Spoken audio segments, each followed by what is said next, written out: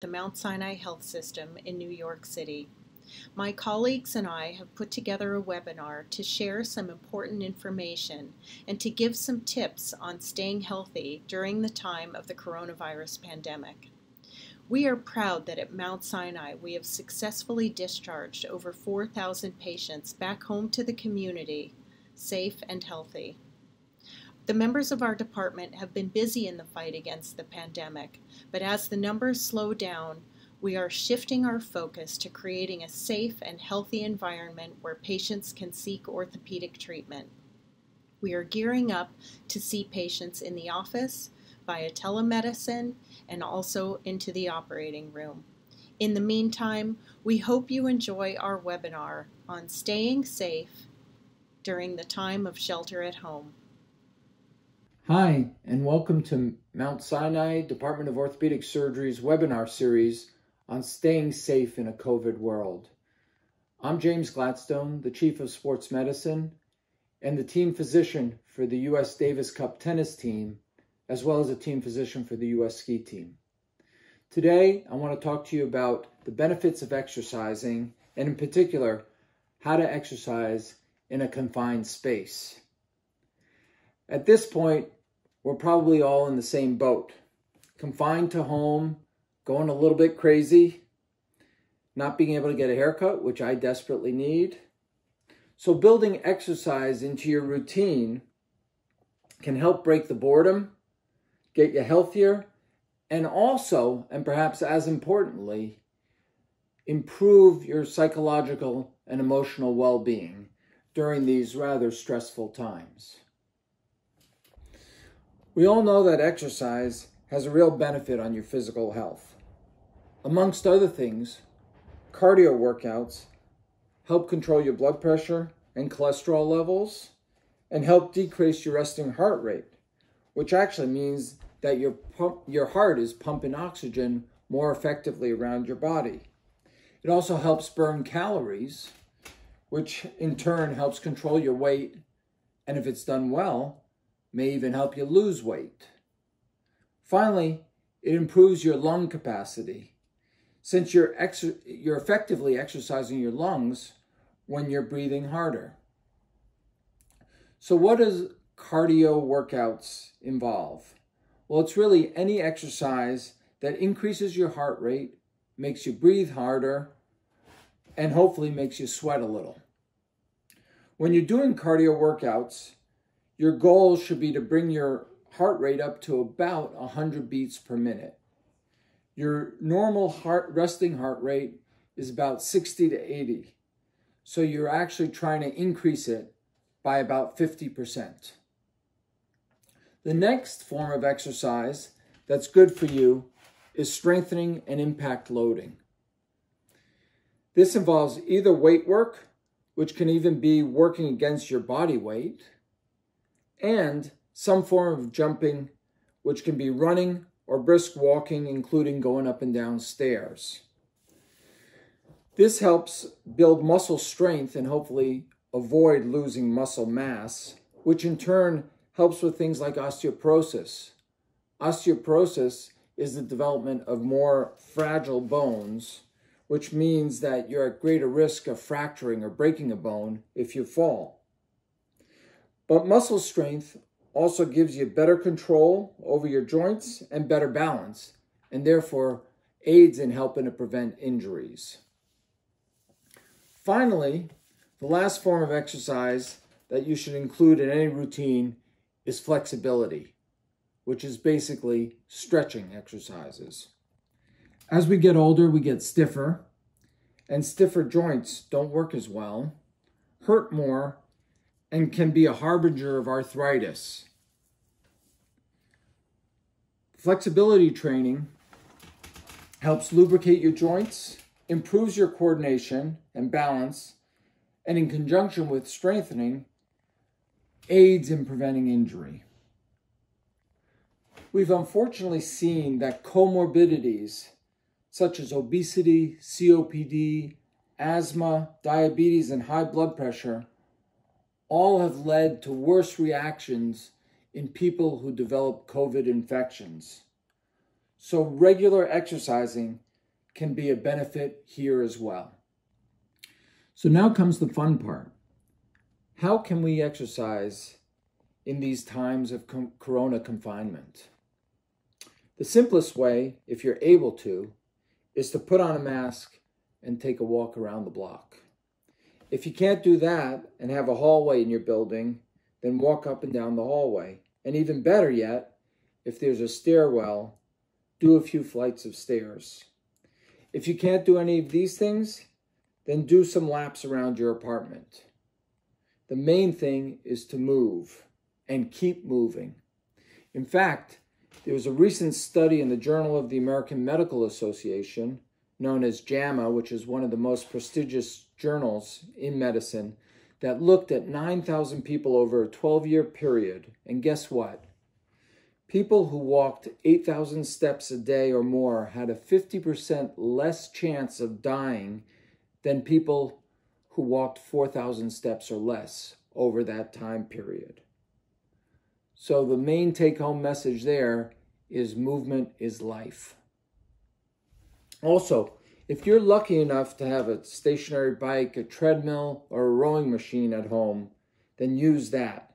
Because in doing so, you're getting both a cardio and strength workout combined. I now want to demonstrate, well, I actually have some much prettier people than me to demonstrate, but a series of exercises that you can do in your home that don't require any space and don't require any equipment. The last thing I want to discuss before demonstrating these, these exercises is how much to exercise. I think if you can do some form of exercise three times a week, you're doing well. If you're someone who typically works out more regularly than that, then try to follow your non corona time schedule.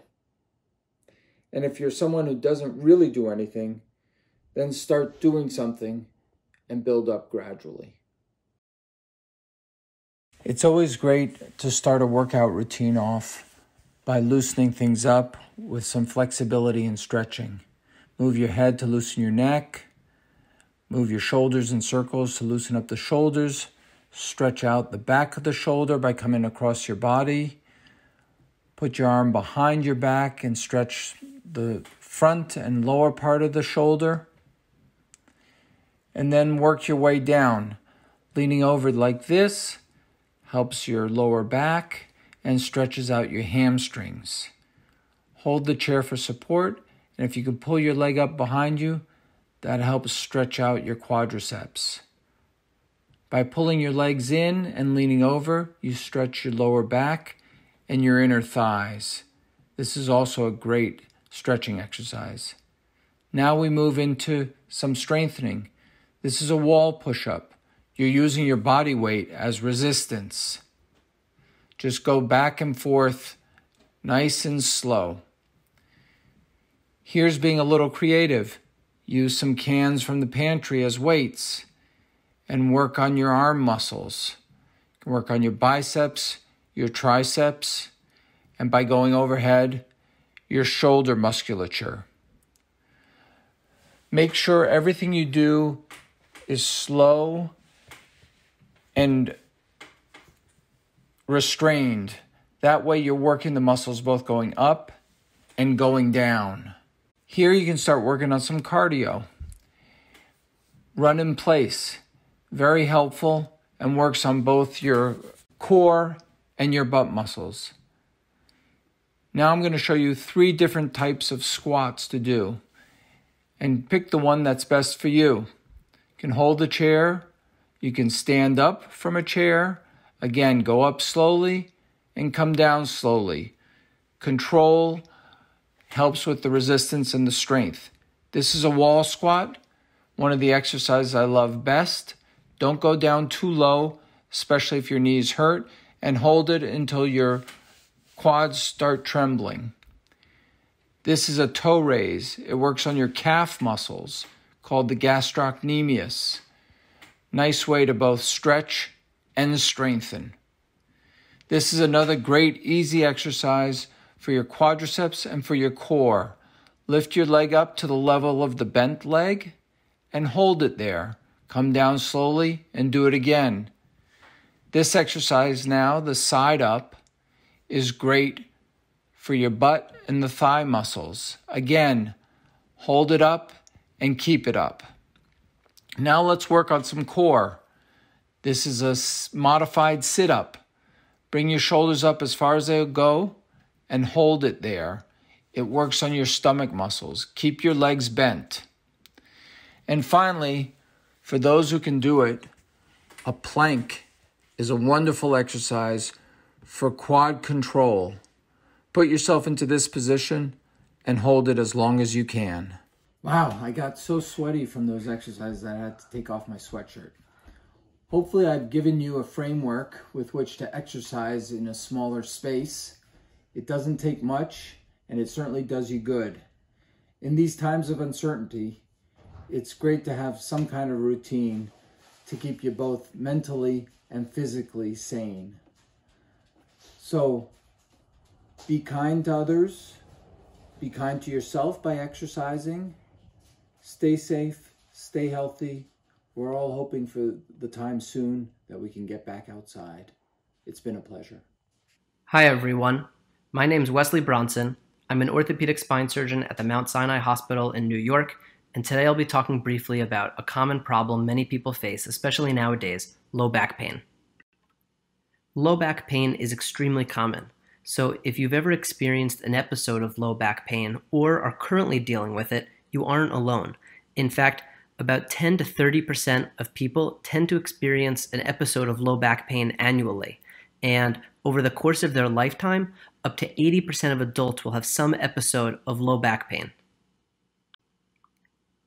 Many patients wonder, well, where is my pain coming from? Why am I having this flare of low back pain, or why has my pain been going on for so long? Well, it's important to remember that back pain is really a symptom. It's not itself a diagnosis, and there are many causes of low back pain. Sometimes it can be very painful, and patients often endorse feeling like their back is in spasm. They may have difficulty changing positions or sitting for too long. And occasionally, the pain may radiate even slightly below the belt line into the buttocks or even into the hamstrings. Common causes include lumbosacral muscle strains, or age related arthritis can also cause pain as the joints in the back or the discs within the spine experience age related wear and tear. Other common diagnoses are herniated discs, while this commonly causes low back pain, it can also result in other symptoms of having a pinched nerve and cause pain going down the legs. Patients may endorse so called sciatica type pains when this happens. There are many other common causes as well, but despite the wide range of causes, the end result is often pain in the low back. One thing that's important to note is that sometimes it isn't just back pain, and so you need to pay attention to your symptoms. If you're experiencing any pain, weakness, or numbness below the belt line, that's a sign that you should contact a healthcare professional to discuss your symptoms. Additionally, patients with so called red flags should seek treatment as well, including those with progressive loss of strength or sensation, incontinence, significant trauma such as a fall, fevers, recent spinal surgery, or those on immunosuppression medications, or a history of cancer. Any patients with these conditions should speak to their healthcare provider. Many patients may be wondering, well, why now? I haven't really been doing all that much, so why am I experiencing these symptoms? One answer may simply just be bad luck. We don't always have the exact reason for why a particular flare of pain is happening. Maybe you twisted your back or picked up something awkwardly, or for whatever unfortunate reason, your back just decided to act up now. Some studies have shown that significant force is transmitted through your spine when sitting, and prolonged sitting might be bothering you. And now that we're home sitting doing work a lot of the day, perhaps it is what, what's causing your back to act up. This type of inactivity can cause irritation. Alternatively, maybe now you're home with your family all day and you're working out and doing more activities than usual. Finally, stress also plays a significant role for acute and chronic low back pain, and these are understandably stressful times. So, how can you prevent these symptoms? Well, first, there are some basic everyday things you can do while working at home. Remember that posture is important. Sitting in a comfortable chair, upright, with your shoulders relaxed and your computer at eye level will help. Alternatively, slouching and poor posture can cause increased pressure on certain parts of your low back. While working, take frequent breaks, walk around, stay moving. If you find that sitting bothers you, try a standing desk or just work from standing for a period of time. If you're someone who experiences low back pain or wants to prevent it, certain lifestyle factors are important. Smoking and obesity are well known risk factors for increasing disc degeneration and causing low back pain. Perhaps this is an opportunity to decrease or quit smoking or to lose weight. Non impact aerobic exercises is also great for your back. A stationary bike or elliptical if you have one, or just go for a long walk. But the important thing is to stay active. Some ways to stay active include activities such as yoga or even practicing mindful mindfulness and meditation. Anything that stretches your back and lower extremities can go a long way to helping eliminate current pains or help prevent future episodes of low back pain. Often, for patients experiencing chronic low back pain, meaning those for six weeks or more, a formal trial of physical therapy can be very helpful. However, currently there are other ways to do your physical therapy rather than going into the physical therapy office if you're concerned about doing so. Many physical therapists are offering virtual physical therapy and can help walk you through your exercises. Alternatively, many exercises can simply be performed at home. Here are a few examples of exercises you can do on your own at home without any special equipment. Performing and holding positions such as pelvic tilts by pressing your back into the ground, trunk rotations by rolling your knees side to side, bringing your knees to your chest, bridges, prayer stretch, and hamstring stretching are a few of the types of ways you can stretch and strengthen your core and back muscles. Finally, some simple over the counter medications can provide exceptional pain relief, such as acetaminophen or nonsteroidal anti inflammatory medications, or NSAIDs. Sometimes your physician may prescribe a short course of muscle relaxant for an acute episode. In general, narcotic medications should try and be avoided, and you should always make sure that it's safe for you to take any medications before doing so. The good news is that most acute episodes of low back pain will get better on their own with time. It may take a few weeks to fully get better, but in general, it should. If you have any concern, you can always call your primary care physician or physiatrist or spine specialist. Thank you for joining me for this webinar. Hopefully you found it helpful or picked up a few tips for managing your own back pain. If you or anyone you know is experiencing any spine-related problems, you can always reach out to my office to schedule an in-office or virtual medicine visit. Stay safe, everyone. Hello, my name is Aruna Seneviratne, and I'm an orthopedic surgeon specializing in shoulder and knee surgery and sports medicine at Mount Sinai Faculty Practice. Today, I'd like to talk to you about home management of common orthopedic problems, osteoarthritis, shoulder pain, and knee pain. Exercise has many benefits, including boosting one's immunity. There have been studies that show that uh, e- uh, vigorous exercise leads to improved immunity against viruses. In addition, aerobic conditioning, uh, strength maintenance, and weight maintenance are some of the benefits of exercise. Exercising outdoors, I've been asked by many patients whether they should wear a mask. Now, it really comes down to state policy and politeness and not really spread of the virus, according to some studies. New York State does not have a masking policy for exercise, and masks may in- increase your workload of breathing and make it more difficult to breathe, especially in sports such as running and cycling. In addition, they can get soiled with fluids and cause some issues. So if you do want to go out using a face covering, you may want to use a gaiter such as this cyclist depicted here. More importantly, you should adhere to social distancing measures. Stay six feet away whenever possible from when you're passing another cyclist or runner, and cover your mouth when you're sneezing or coughing. Wash your hands when you return indoors. These measures will go towards the uh, help of reducing the spread of the coronavirus. Another question I get asked is whether you should stretch or warm up before a bout of exercise. It really is the warm up is more beneficial before an exercise, and stretching is best after an exercise routine. Warming up improves blood flow to muscles and it reduces the incidence of injuries. As the temperature increases, blood holds on to less oxygen and it frees up into the muscles for usage. Stretching is best after an exercise because it will give you more time to stretch most of the muscle groups.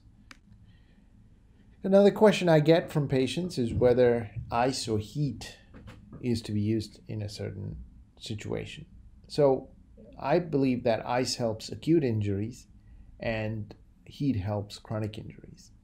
Ice works by constricting blood vessels and reducing their caliber and reducing the amount of inflammatory humors or materials that are being released to an injured area. It also works by reducing the conduction velocity of nerve impulses from the injured tissue to your brain, giving one a sense of lowered perception of pain. Um, heat, on the other hand, can have the opposite effect. However, in chronic injuries, it helps relax collagen structures, improves tight, stiff joints, and helps them to move more freely.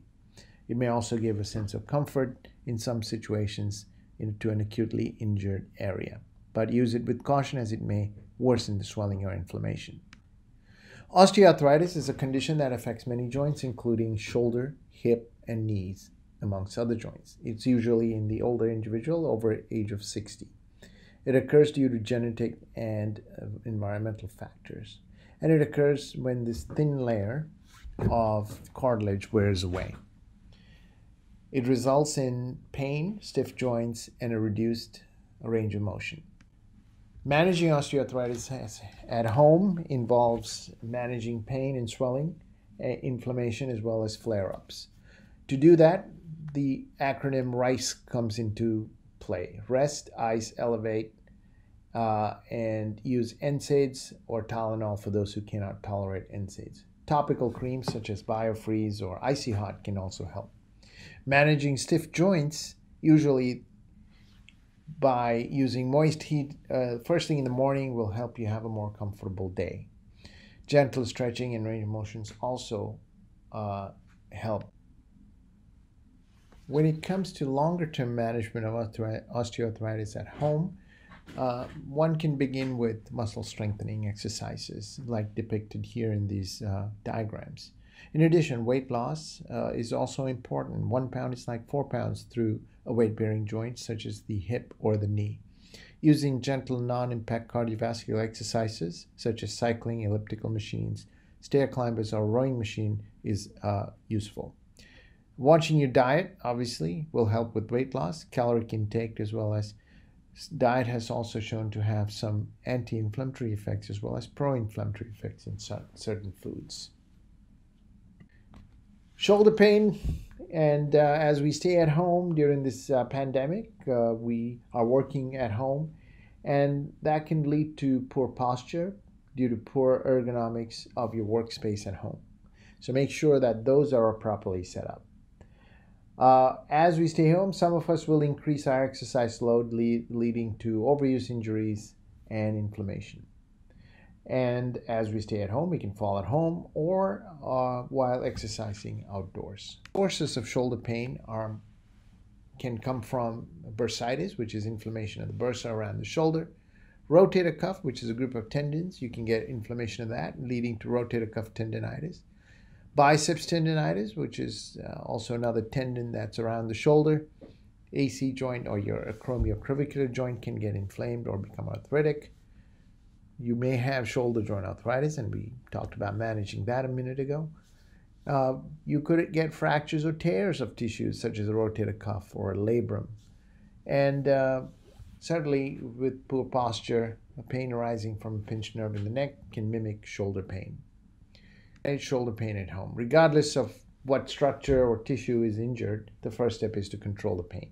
So again, our good friend rice comes into play. Rest, ice, uh, elevation, removing any rings if there's a lot of swelling is important, and NSAIDs.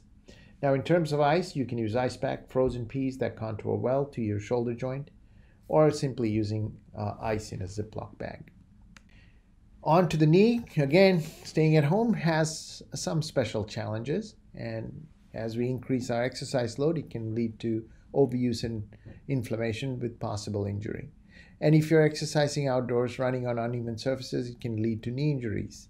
Um, and falls can lead to tears of the meniscus, tendons, and even fractures. Uh, the sources of knee pain include tendonitis of the hamstring tendons, patellar tendon, quad tendon, bursitis, prepatellar bursitis, pes anserine bursitis. These are all some of the bursas around the knee. Meniscus tears can occur, occur if you have a twisting injury, knee arthritis, fractures of the patella, femur, or tibia, which are uncommon, but you would require a fair, fairly significant traumatic event for that. Tears of the patella tendon, quadriceps tendons uh, can also occur. We manage knee pain at home again, regardless of what structure is injured. The first step is to control the pain with our old friend rice. Rest, ice, and elevate. Topical creams and gels such as icy hot biofreeze again come into play, and NSAIDs or Tylenol help. If, of course, in any of these conditions, if the pain does not improve, please seek a medical help within a week or so, or sooner if needed. Thank you for your attention. Uh, I hope this has been helpful. Stay safe, and if you need to consult us, please do so. Take care now. Bye bye. Hello, my name is Dr. Sean Anthony, and I'm a shoulder, knee, and sports surgeon at the Orthopedic Center at Mount Sinai West. Today I will be presenting a webinar on the home office tips for comfort, productivity, and injury prevention. The COVID 19 pandemic has forced us to shift our workspaces from the office to our homes, and with this comes the challenge of finding a good home workspace. This can be especially difficult when also caring for our loved ones while working at home. With the increased use of the home office, we are seeing a rise in orthopedic complaints associated with poor work environments. These include shoulder pain from rotator cuff and biceps tendonitis, Hip and knee pain from quad and patellar tendonitis are frequent complaints, as well as neck and low back pain. Many of these are preventable with a few simple changes to the home office environment. In this webinar, I'll now go through four tips for home office comfort, productivity, and injury prevention. First, find a dedicated home office space. This can be challenging with families and roommates all home together at the same time. But the home office doesn't necessarily have to be a separate room, but it should have the basic components such as adequate lighting, adjustable chair, and a flat table surface. Most importantly, avoid the bed or couch as these have the highest associations with injuries. Second, create a comfortable workspace. The laptop or desktop monitor should be positioned at or slightly below eye level. An adjustable chair is ideal so that the wrists can be kept level and the feet supported or flat on the floor. I'm frequently asked by patients whether a standing desk is better than a sitting desk. If possible, it's best to combine both throughout a workday, as each can cause issues after prolonged periods of time. Third, maintain good posture while working. It's easy to forget good posture and slouch in a chair. Some easy tips to remember are to keep the ears positioned over the shoulders and the shoulders positioned over the hips. This will keep the spine in good alignment while sitting for long periods. The hips and knees should be bent approximately 90 degrees. A cushion can be added for lower lumbar support. And try to keep frequently used objects such as a telephone or scanner within reach, as the repetitive straining to reach for items can cause overuse injuries. Finally, take breaks, eat well, and exercise. If you don't already, introduce 10 minutes of morning and evening stretches to maintain flexibility, of all things, tight muscles from prolonged sitting are the most frequent cause of joint pain due to the increased stress across joints.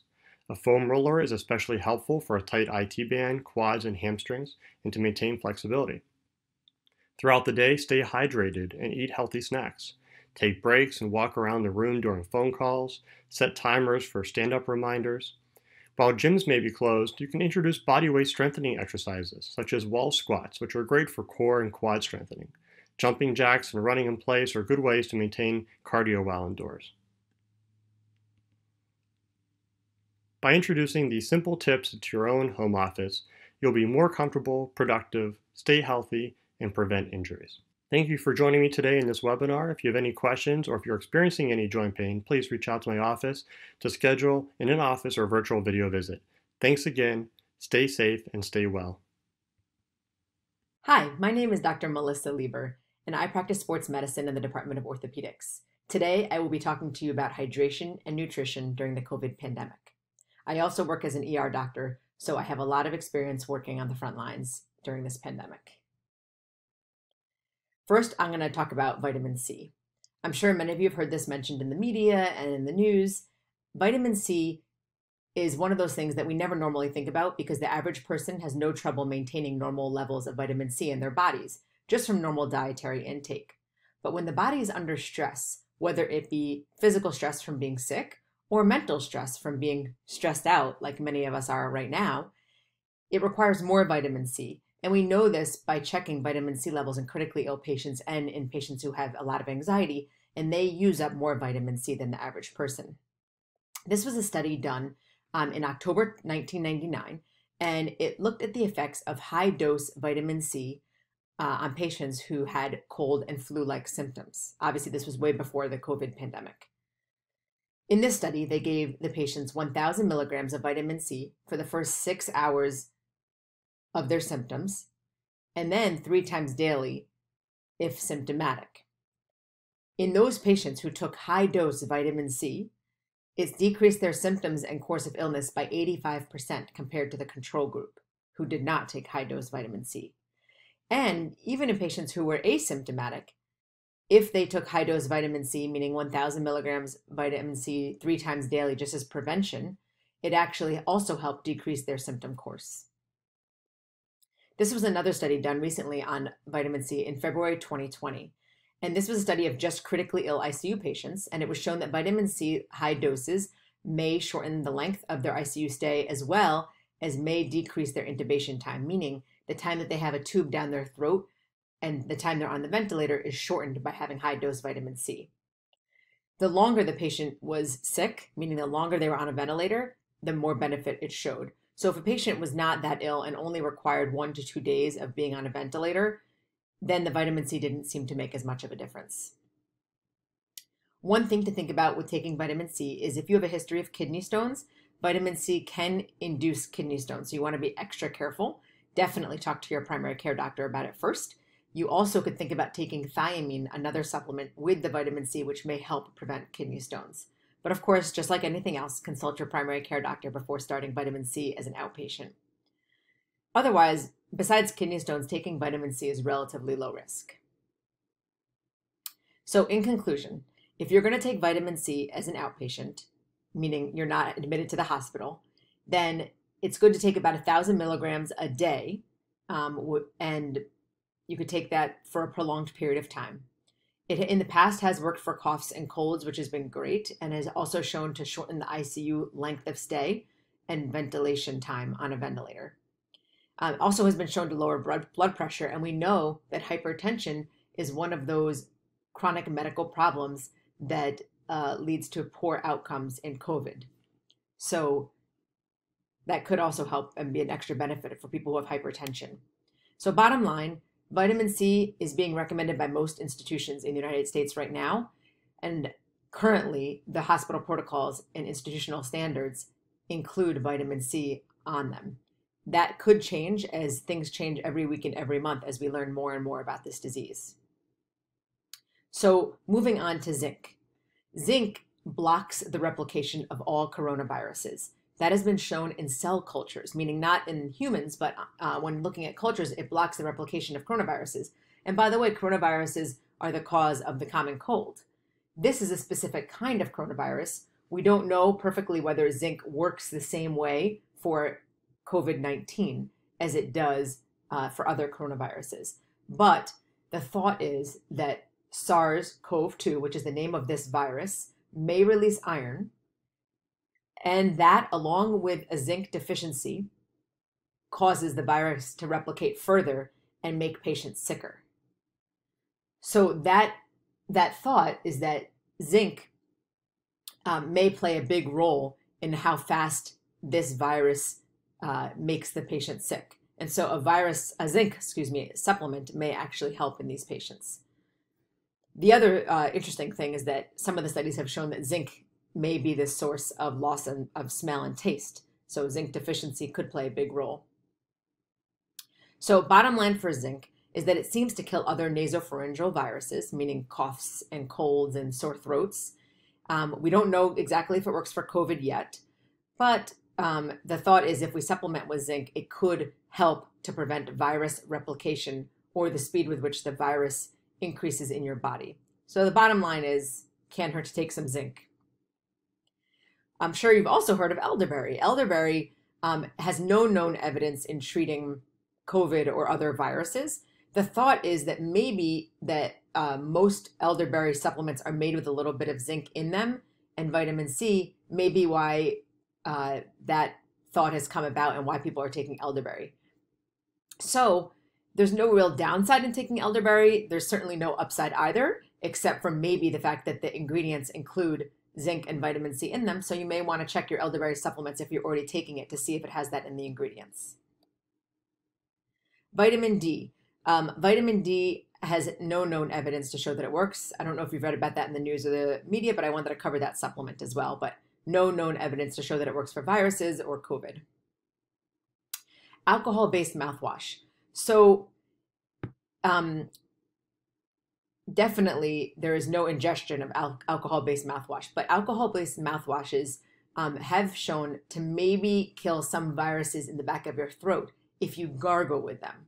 There is no recommendation to ingest them at all, but gargling with them may show some benefit. Um, there's certainly no medical evidence for this, which is why I put a thumbs down on the recommendation. Uh, and also, I do not recommend any swallowing of this at all. And so I want to make that perfectly clear. Diet. Diet plays a huge role um, in COVID 19, in really all illnesses and all medical problems in general. Uh, when you're morbidly obese, you have worse outcomes. But it has been shown that um, when you're morbidly obese, that means BMI over 40, you have a higher uh, risk of getting ill, higher risk of getting uh, infections, and um, you have an, an auto uh, an immune deficiency. And we don't know why there's an immune deficiency for morbidly obese patients, but we just know that it exists. And so, two things having to do with dieting and eating healthier. One is if you're morbidly obese, you have a higher risk of getting infections. And two is if you're morbidly obese, you have a, a higher risk of mortality if you contract COVID 19. So, dieting is very good. Um, if you can get your BMI under 30, that would be great uh, BMI between 30 and 40 has not been shown to be detrimental or very, very bad, but BMI less than 30 has been shown to be very good. So, in conclusion, definitely diet and exercise is very good. I didn't mention exercise earlier in this talk, but certainly it can't hurt to build your pulmonary reserve and get out there and exercise, which will also help with weight loss and getting your BMI down. Taking vitamin C supplements definitely won't hurt uh, unless you have a history of kidney stones or at risk for kidney stones. So, taking vitamin C is recommended, as well as taking zinc supplements, like we discussed, um, as it may play a role in virus replication.